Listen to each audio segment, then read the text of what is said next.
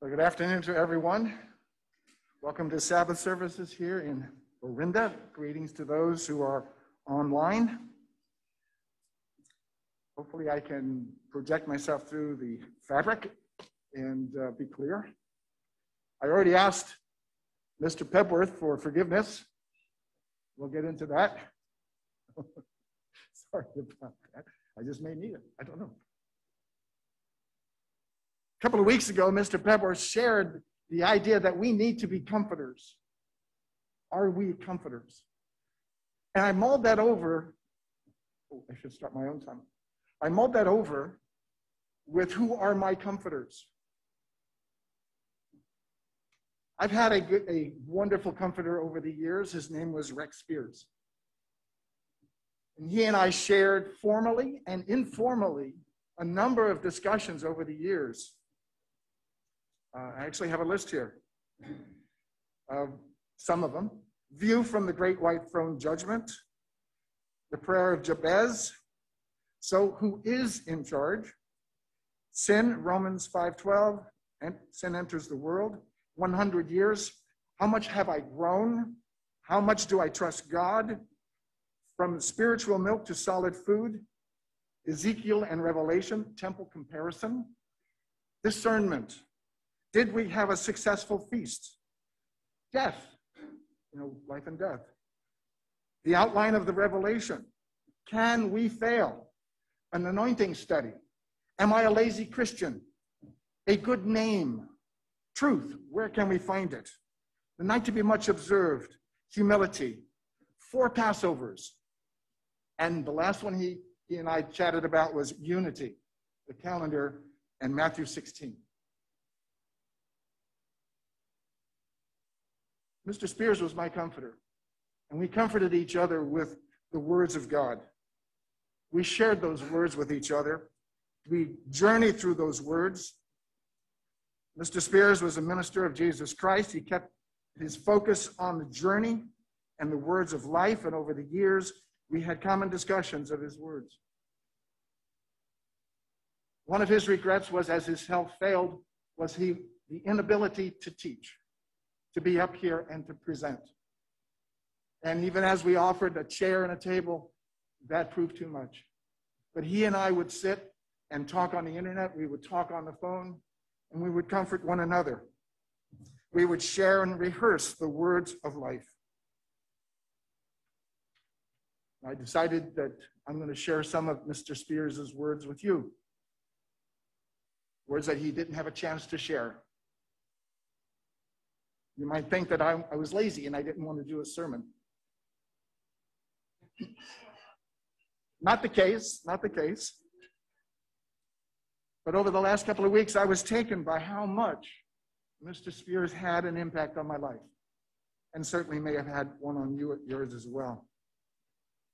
I do not have his profound, deep basso profundo voice or his presence, but I have his words. What follows now is a sermon of multiple. I, if you like titles, the title is A Potpourri of Comfort because I have a couple, three messages I want to share from Mr. Spears. Can I get a water? Get a, get a water. So this is from Mr. Spears. How much do we trust God? It's a short piece, which we had a wonderful discussion on. It is an interesting question that we should apply in many different situations. When we are sick and get anointed, we are asking God to heal us. Sometimes we have a job crisis. Maybe we are in danger of losing a job and we pray and ask God for his help. But there is another area we need to meditate on. Do we trust God to give us the messages on the Sabbath that we need? Let's face the facts. Some people are just better speakers than others. All speakers have bad days. But for every sermon, do we pray and really expect that God will inspire the messages we need? Maybe God is testing us to see just how much we really love His word, or are we, like the world, looking for entertainment? One of the problems Beyond Today faces is that the average attention span of a viewer is 18 minutes, while the program is 30 minutes long. When I first came into the church, Mr. Spear speaking, way back in the last millennium, an evangelist named Gerald Waterhouse used to come through on tours. There we were on a weeknight with two small children, listening enthralled for two to three hours. Even then, we were left wanting more. My first introduction, age when I finally started attending church, was Mr. Waterhouse. One month into attending services in, in uh, uh, uh, Lakeland, Florida, it was a three-hour message. Today, Satan has so manipulated us that we can, if not very careful, completely miss God's inspired message for the day. This is true not only for Sabbath, but also true for the holy days. Some people miss services at the Feast of Tabernacles because they want to go out and do something fun. After all, God only commands us to go on the first and last day, right? Then why did God go to all the trouble to give us seven days of messages and fellowship? Maybe there are points given on one of the other five days, or perish of thought in the middle of a boring sermon, that God wants us to dig out to show that we really realize just how sobering and dangerous the times we live in. It is easy to see the danger in a hurricane hitting the East Coast. But we need to recognize the dangers we face every day in Satan's world. God inspires the messages that we hear, but it is up to us what we do with that information. Mr. Spears is a comforter to me, even now. Another piece Am I a lazy Christian? This was written in September. I keep asking myself a very basic question.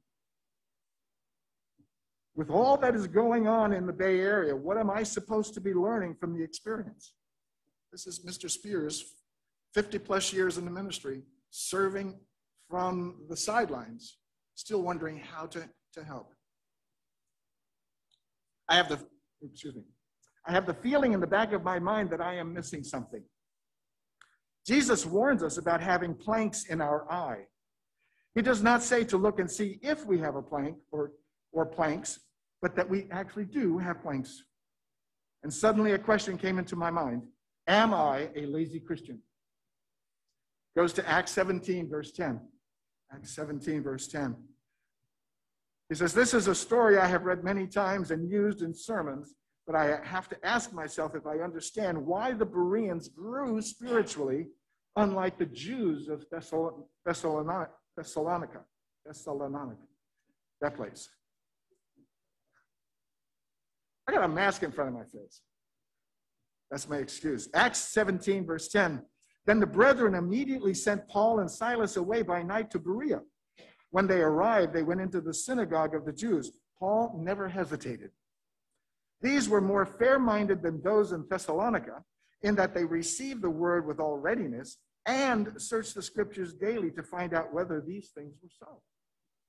They received it with readiness and then confirmed what was being said.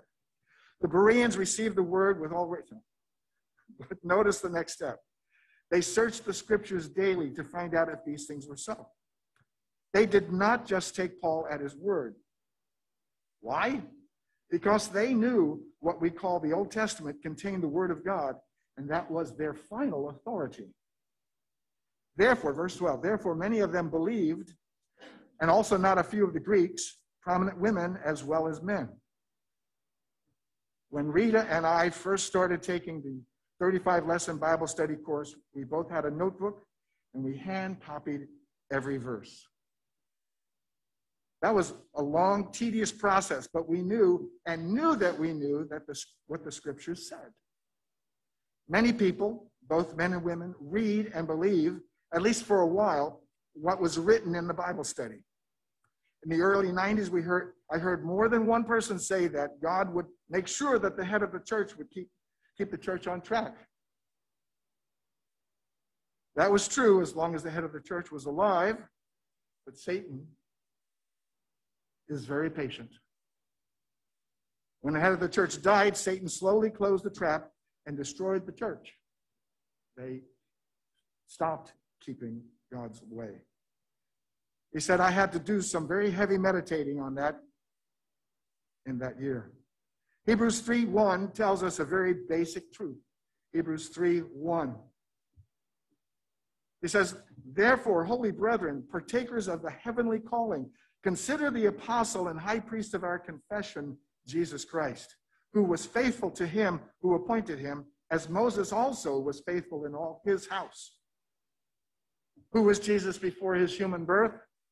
The Logos, the Word, which brings us back to the Bible.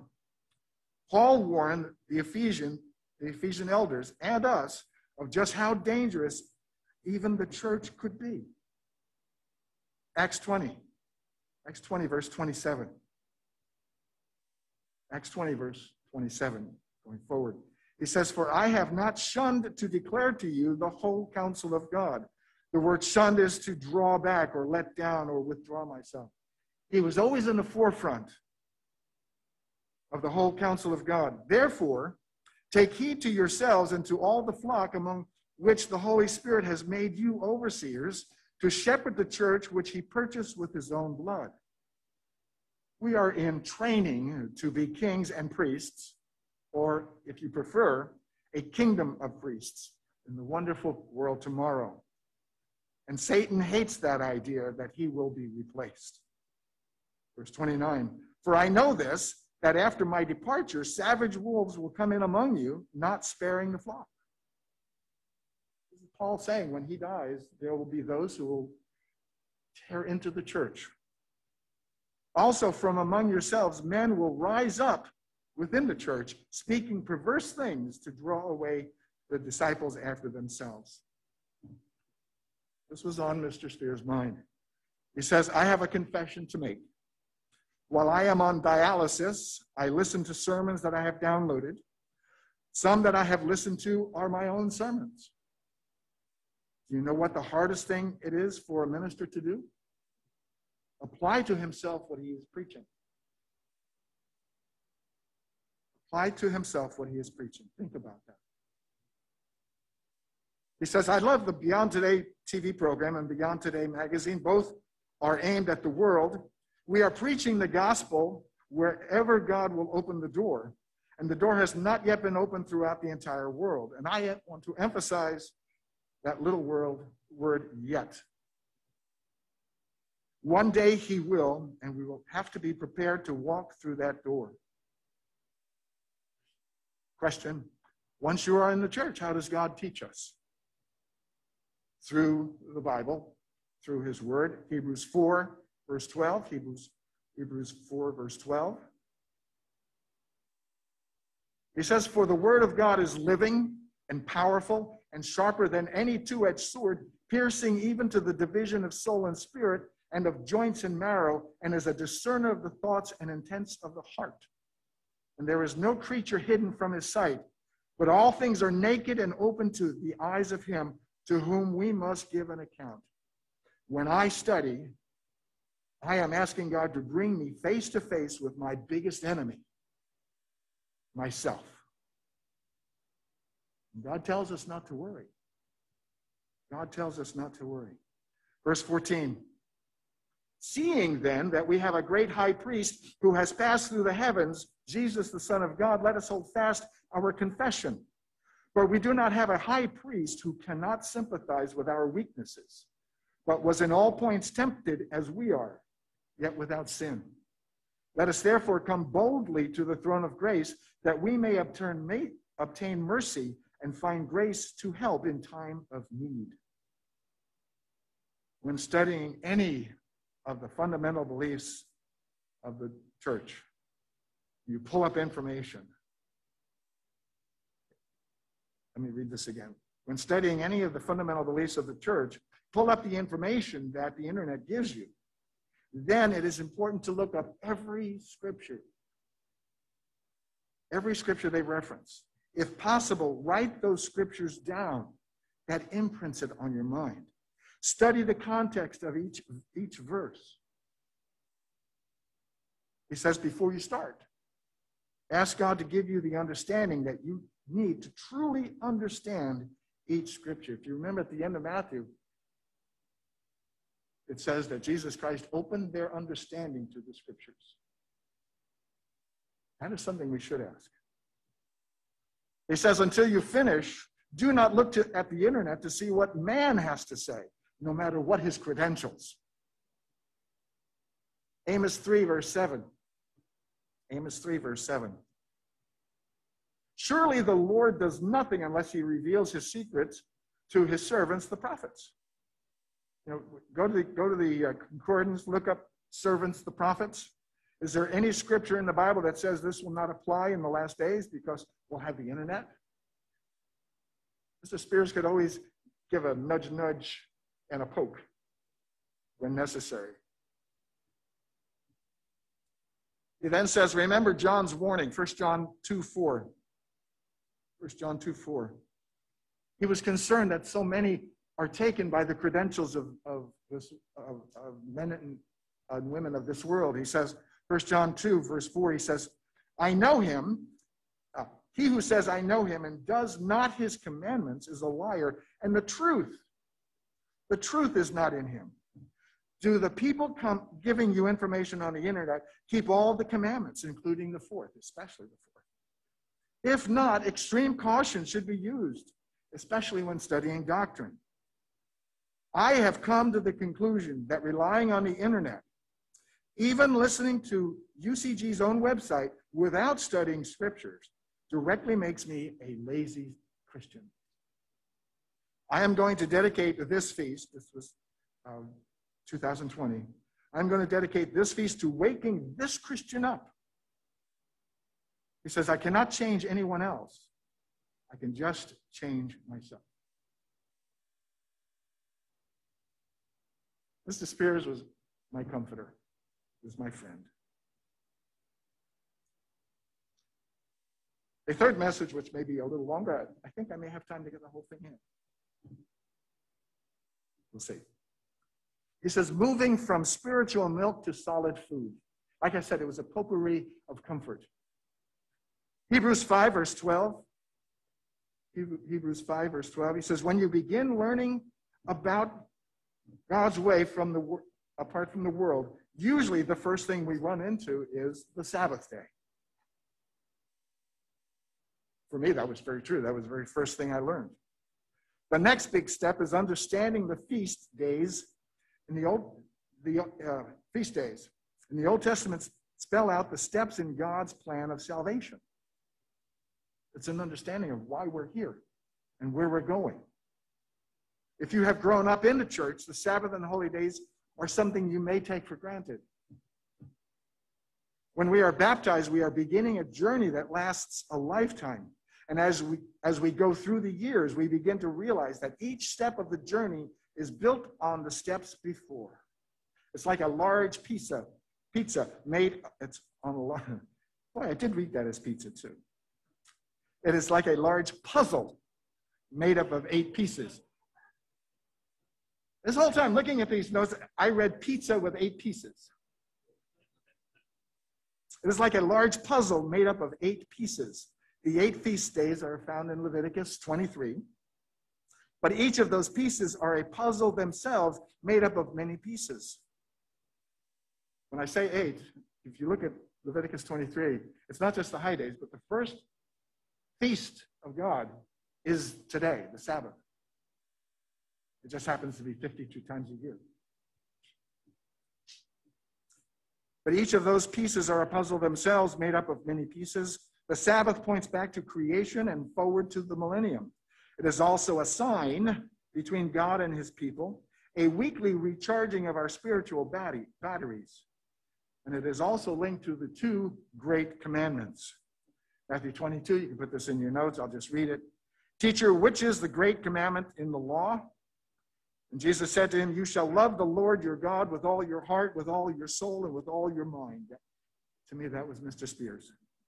This is the first and great commandment. The second is like it you shall love your neighbor as yourself. Mr. Spears had great love for you. He had great love. Hebrews 5, verse 12. You know, we, these are in turn, the, the uh, great commandments are broken down into the Ten Commandments, which are also a puzzle. themselves over the years. As you fill in the pieces, the picture becomes clearer. Hebrews 5 and verse 12. This scripture has really got me to thinking. For though by this time you ought to be teachers, and, and for those in San Jose and Eureka, you know that has been the, the foundation of my teaching because I want you to be teachers of God's way. This isn't a journey where you, let me tell you what to do. You're learning to tell other people the truth and how and teach them God's way. For though by this time you ought to be teachers, you need someone to teach you again the first principles of the oracles of God.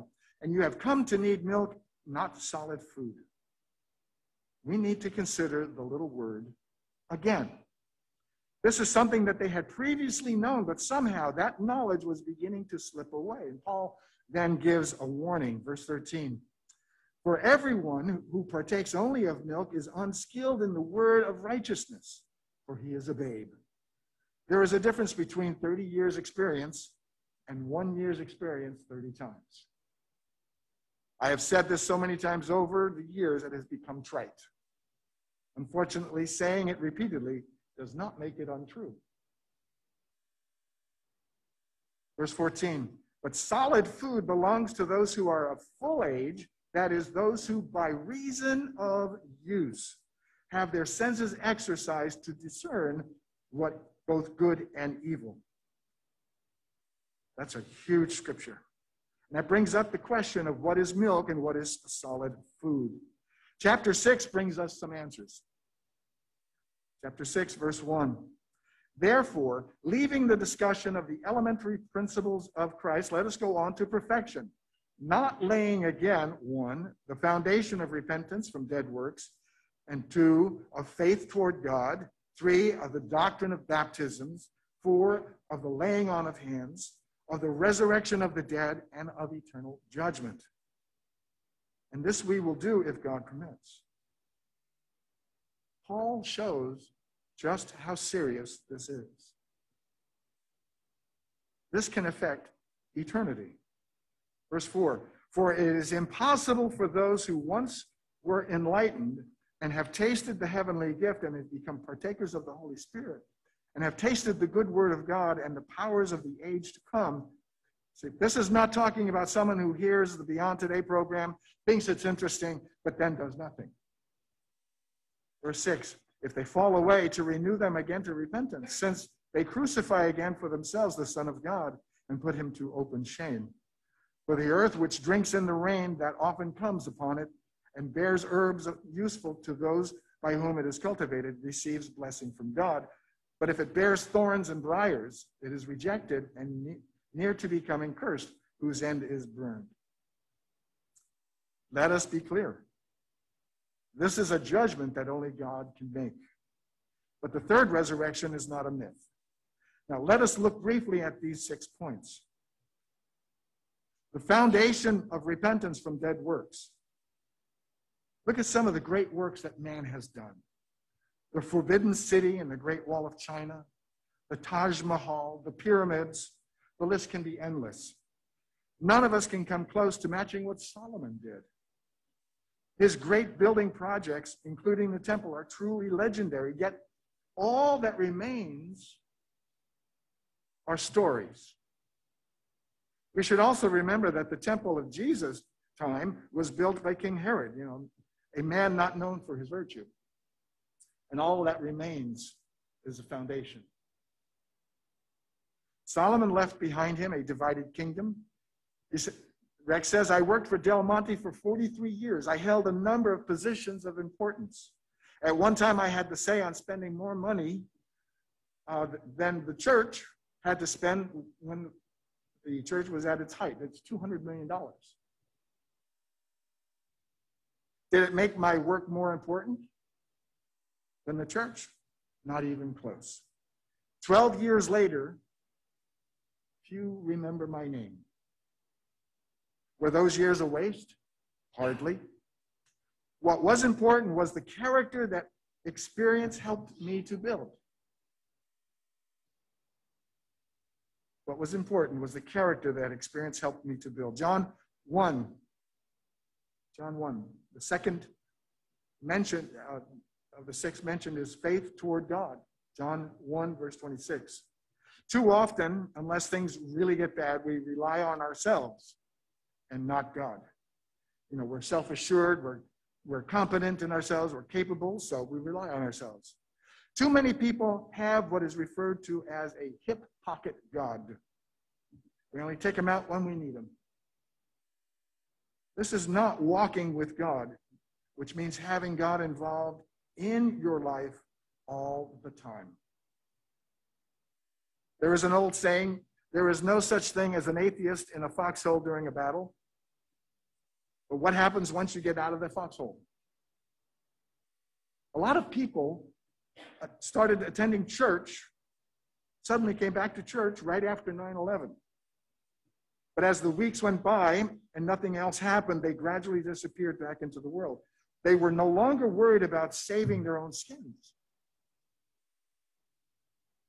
Back in December 25th, 1991, an event occurred that I believe had an enormous impact on the Church of God. The Soviet Union ceased to exist. Suddenly, everything we thought we knew about prophecy was in question. Then, a few years later, someone came and said, Well, you don't have to keep the Sabbath. And since the holy days are not really commanded for the church, we can keep them in the summer when it is more convenient. And what does food have to do with salvation anyway? And in less than a few years, a majority of the church went back into the world. It was a very difficult time, 1995. The church was not affected by a wave of persecution, but by a wave of deception.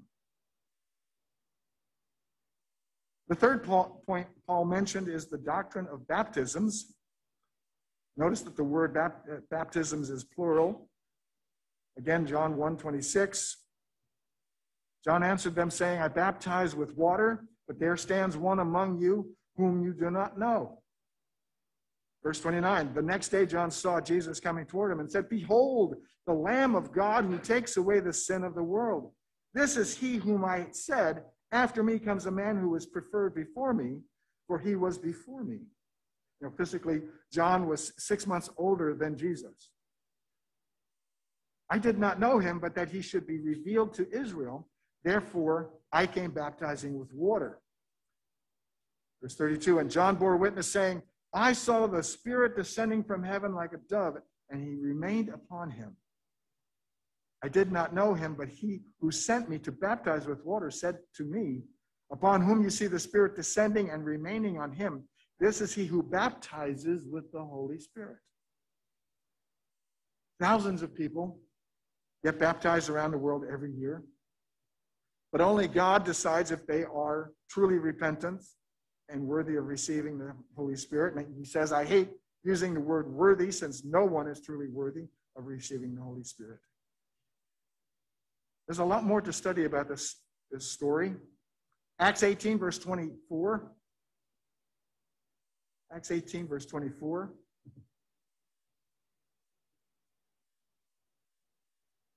As I said, this, this will be a little different sermon today. Acts 18, verse 24. Now, a certain Jew named Apollos, born at Alexandria, an eloquent man and, and mighty in the scriptures, came to Ephesus. You know, some men are just born speakers. Often it is a gift that they were born with, and he was and this man was a scholar as well. This man had been instructed in the way of the Lord, being fervent in spirit. He spoke and taught accurately the things of the Lord, though he knew only the baptism of John. He was not complete in his studies. So he began to speak boldly in the synagogue. When Aquila and Priscilla heard him, they took him aside and explained to him the way of God more accurately. These verses I find extremely interesting. He spoke accurately the truths that he knew, but apparently there were things that Apollos had not yet come to understand. It does not say, it does not say, it does not say so, but somewhere in the story, Apollos must have had hands laid on him to receive the Holy Spirit. The Holy Spirit guides us to all understanding, it's a requirement. John 14, 26 14, 26. know Mr. Pebworth used this two weeks ago. But the Helper, the Comforter, the Holy Spirit, whom the Father will send in my name, he will teach you all things and bring you to remembrance all things that I said to you. Without the Holy Spirit, we are limited in what we can understand. Those of you that have that are growing up in the church have been taught about the Sabbath, the holy days, and the commandments by your parents. Sooner or later, you must be willing to put your life in the hands of your spiritual father. You need to make a choice. Or your education can never be complete. The fourth is laying on of hands. Acts 2, verse 37 38. This is the beginning. This is uh, when Pentecost began. 50 days after death of Jesus Christ. Now, when they heard this, they were cut to the heart. Peter had given an impassioned speech, sermon, and the rest of the and said to Peter and the apostles, Men and brethren, what shall we do? And Peter said to them, Repent, and every one of you be baptized in the name of Jesus Christ for the remission of sins, and you shall receive the gift of the Holy Spirit. What we do is we start by repenting from where we find ourselves and change our life. We start keeping the Sabbath. But are we truly sorry for the mistakes we made before being called? We become aware of, of what we need to do to, to repent. And then, and only then, should we be baptized. Acts 19, Acts 19, verse 1. And it happened while Apollos was in Corinth that Paul, having passed through the upper regions, came to Ephesus. And finding some disciples, he said to them, Did you receive the Holy Spirit when you believed? So they said to him, and to me this is astounding because this is where the rubber meets the road. This is 1 Corinthians 2. Sorry, that, that's not Rex, that's me. And he, they said to him, We have not so much as heard whether there is a Holy Spirit. They understood repentance, they understood the need to be baptized and have their sins forgiven. But they didn't understand that there was a Holy Spirit. And he said to them, verse 3 Into what then were you baptized? So they said, Into John's baptism. Then Paul said, John indeed baptized with a baptizing, baptism of repentance saying to the people that they should believe on him who would come after him, that is, on Jesus Christ. There is nothing here to indicate that these people were not repentant, but they still lacked something. Verse 5 When they heard this, they were baptized in the name of the Lord Jesus. Interesting. They were baptized a second time, but this time with the knowledge of Jesus as Lord and Savior. And when Paul had laid hands on them, the Holy Spirit came upon them, and they spoke in languages and prophesied or had inspired teaching. There was an immediate impact on what these people could do. Up to that point, God was just laying the foundation for their calling. That was their decision time. Acts 13, verse 1. Now, in the church that was at Antioch, there were certain prophets and teachers Barnabas, Simon, who was called Niger, Lucius of Cyrene, Manaen, who had been brought up with Herod the Tetrarch, and Saul.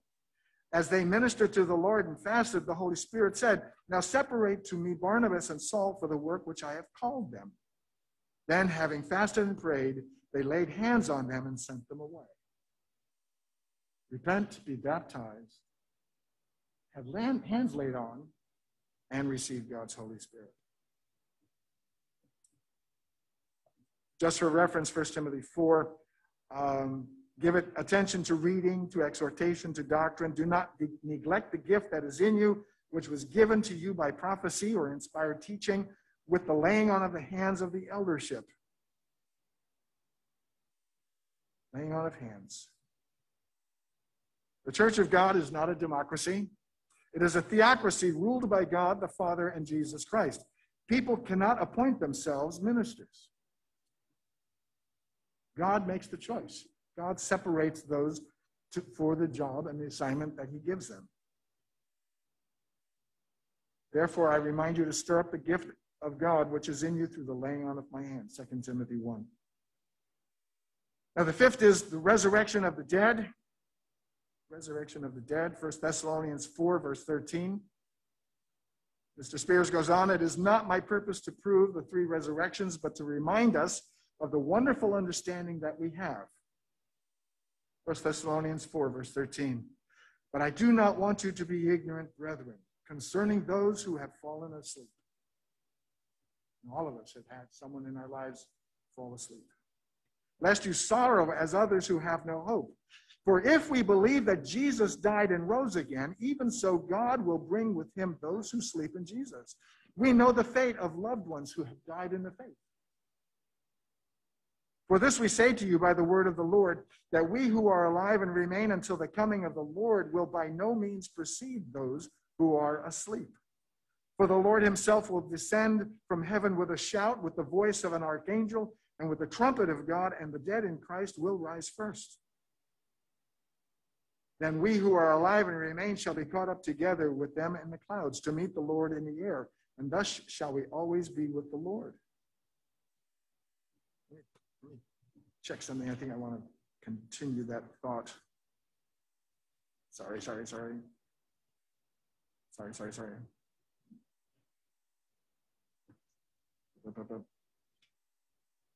Yeah, um, Mr. Spear stopped one scripture shy because this was him. Verse 18, therefore, comfort one another with these words. We're comforters for one another, and we use God's word to comfort each other.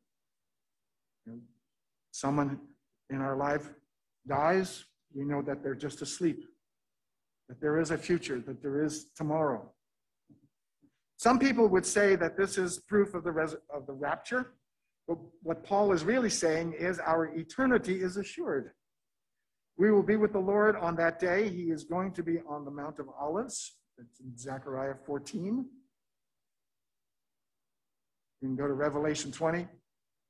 Revelation 20, verse 4. Again, talking about the resurrections. And he said, I saw th- thrones, and they sat on them, and judgment was committed to them. Then I saw the souls of those who had been beheaded for their witness to Jesus and the word of God, who had not worshiped the beast or his image, and had not received his mark in their foreheads or on their hands. And they lived and reigned with Christ for a thousand years. But, verse 5, but the rest of the dead, the rest of the dead did not live again until the thousand years were finished. Verse 11. We also know that there is hope for the rest of mankind, for all humanity. They are not going to spend eternity in a Dante's hell. Verse 11. Then I saw a great white throne judgment, and him who sat on it, from whose face the earth and heaven fled away, and there was, no, was found no place for them. And I saw the dead, great and small, standing before God. The books were open, and another book was open, which is the book of life. That's just this is me aside now. That's what we're doing right now. The books are open. It's in your lap. You have the word of God in your lap. And when we are baptized, when we are given God's Holy Spirit, our name is written in the book of life. So we have individuals who have been resurrected at the return of Jesus Christ. This doesn't apply to them at the end of a thousand years, all humanity will be resurrected. Ezekiel 37. To a physical life. And they will have the books open, just like we have today. And as they grow spiritually, they'll have their name put into the, the book of life. And the dead were judged according to their works by the things which were written in the books. Verse 13, there's a separation here. Now the sea gave up the dead who were in it, and death and Hades delivered up the dead who were in them. This is a different group. And they were judged each according to his works. Notice that there's no books. Then death and Hades were cast into the lake of fire. This is the second death. Also, a third resurrection, the one we don't want to think about. And anyone not found in, written in the book of life was cast into the lake of fire. There's a whole sermon there I'll get to it. Jose, I'll get to it. I promise you. Ezekiel 37, he says, These verses cause a great deal of problems for those who believe we go to heaven or hell when we die. What is the purpose of this resurrection? Most do the usual, they ignore it. But this is obviously a physical resurrection, not the first resurrection to spirit, but a physical, physical resurrection. It is amazing promise, uh, Ezekiel 37, verse 14 talks about bringing them out of the graves. And I will put my spirit in you, and you shall live, and I will place you in your land. Then and only then you shall know that I, the Lord, have spoken it and performed it, says the Lord. There will be a change for all of this world. Number six uh, of eternal judgment, Romans 6 23. There are two eternal judgments mentioned Romans 6:23. For the wages of sin is death. Notice it is not it says death not eternal punishment. But the gift of God is eternal life in Christ Jesus our Lord. Not just life, but eternal spiritual life. Life devoid of limitations that we have now. He said, Let me read to you three verses. You can just listen. That'll be quick. 1 John 2 25. And this is the promise that he promised us eternal life. Ezekiel 18, verse 4. Behold, all souls are mine. The soul of the Father, as well as the soul of the Son, is mine. The soul who sins shall die. Verse 20. The soul who sins shall die. The Son shall not bear the guilt of the Father, nor the Father bear the guilt of the Son. The righteous of the the righteousness of the righteous shall be upon himself, and the wickedness of the wicked shall be upon himself. Everybody is going to give account for themselves. Matthew 23 23. These are some wonderful truths, understanding of which can only come from God. Matthew 23 23. Woe to you, scribes, Pharisees, hypocrites, for you pay tithe of mint and anise and cumin and have neglected the weightier matters of the law justice, mercy, and faith. These you ought to have done without leaving the others undone. How important are these three to God? Do we think of justice as a trait of God, the Father, and Jesus Christ? Psalm 33 4 from the New Living Translation simply says, As the word of the Lord holds true, we can trust everything he does. And then in Psalm 106, verse 3, Blessed are those who keep justice, and he who does righteousness at all times. The world is so warped that sometimes it is hard to know what justice is. How do you get justice from a, for a slave who died 200 years ago? Or a slave who died in Egypt long before Moses was born? Or you fill in the blank. The only answer is the return of Jesus Christ to this earth and his sitting, setting up his kingdom on this earth. Jesus will resurrect the dead and teach all his ways in a world of peace and prosperity. I love the, the mind of Mr. Spears. How about mercy? How about mercy? How about mercy? Matthew 5, verse 7 Blessed are the merciful, for they shall obtain mercy. Matthew 7, verse 1 Judge not that you be not judged, for with what judgment you judge, you will be judged, and with the measure you see, it will be measured back to you. And why do you look at the speck in your brother's eye and do not consider the plank in your own eye? How can you say to your brother, Let me remove the speck from your eye, and look, a plank is in your own eye?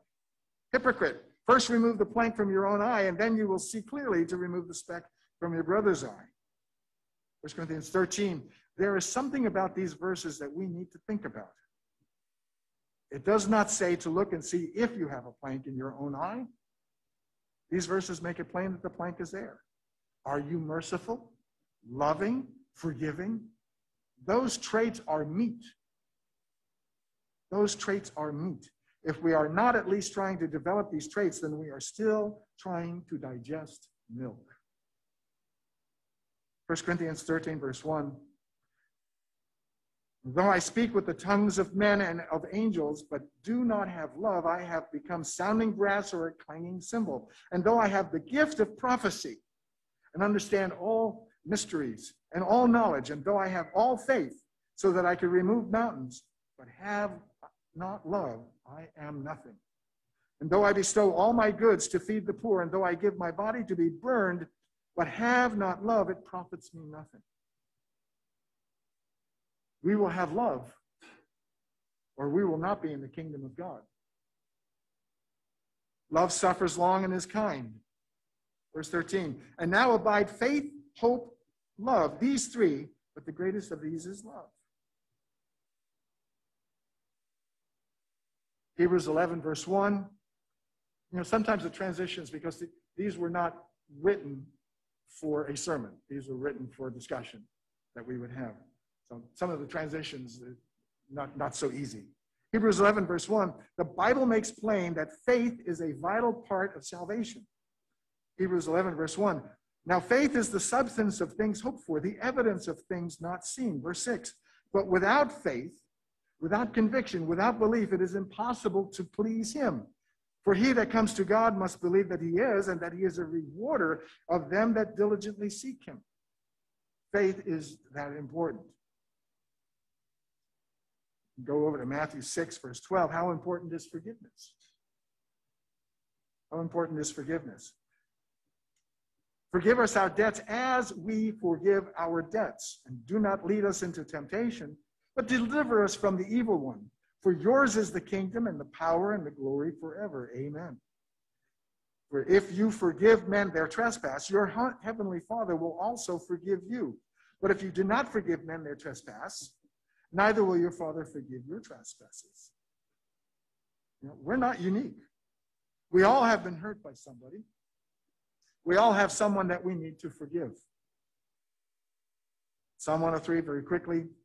For as the heavens are high above the earth, so great is his mercy toward those who fear him.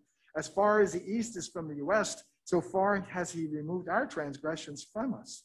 Even when we forgive someone, it, it's kind of hard to let go. God has forgiven us. God uses east and west because they never meet. North and south meet. East and west never meet. He said, We can, uh, Rex continues, he says, we can say we have forgiven someone, but is this really true if we keep bringing it up? Even if we're just, even if we're just thinking about it. It's not a minor point. When we are kings and priests in the world tomorrow, some of the people we are going to deal with are going to have been reprehensible in our lives. Let us never forget that God is going to offer these people a chance at salvation the good, the bad, and the ugly. He said, One last thought. I have always wondered about the church of God down through the ages, dark ages, the middle ages, and such. They obviously did not have the insight into prophecy that we have. Not that we are smarter than they were, but much is obvious to us through hindsight, through history. Many of these called, many of these called, probably, uh, again, we do not know, could not read or write. Education wasn't high on their list. But that did not mean they could not live by faith or show godly love toward one another. Or you could say that they had the fruits of God's Spirit. Mr. Pebworth talked about being a comforter for one another. It has been my privilege to have Mr. Spears as my comforter. We would discuss things constantly, either by the internet or by phone. We shared from our experiences. And I could only encourage you to have the same experience with one another. Share the journey with each other. Comfort each other with God's word grow in grace and knowledge with God's word with one another. This is not a solo journey. We're not by ourselves. I hope this was helpful.